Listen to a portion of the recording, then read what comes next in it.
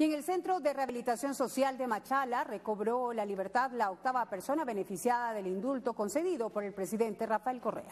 El liberado cumplía una condena de 20, de 20 meses por contrabando de 25 galones de diésel. Raúl Balcázar es el octavo indultado que recobra la libertad. Permaneció recluido 16 meses en el Centro de Rehabilitación Social de Machala, cumpliendo una pena de 20 meses por contrabando de combustibles.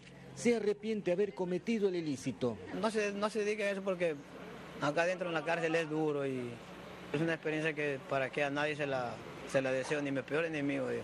Balcázar fue aprendido transportando 25 galones de diésel en el Ministerio de Justicia revisan una propuesta de revisión normativa que implemente la proporcionalidad entre el delito y la pena impuesta. Como en este caso, son pocos los galones en los que se encontraba eh, contrabandeando, sin embargo, a veces las penas impuestas son altas. Mientras tanto, advierten a la ciudadanía sobre las consecuencias de participar en la fuga de combustibles. Sigue siendo un delito y está sancionado de acuerdo al estipulado en el Código Orgánico Integral Penal. Los operativos continuarán y aquellas personas pues, que se los encuentre cometiendo estos delitos pues serán sancionados con la ley.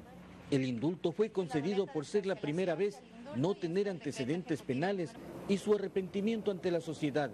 Varios familiares de detenidos que supuestamente estarían dentro de estos requisitos solicitaron la revisión de sus causas. Mario Pinto, Gama Noticias.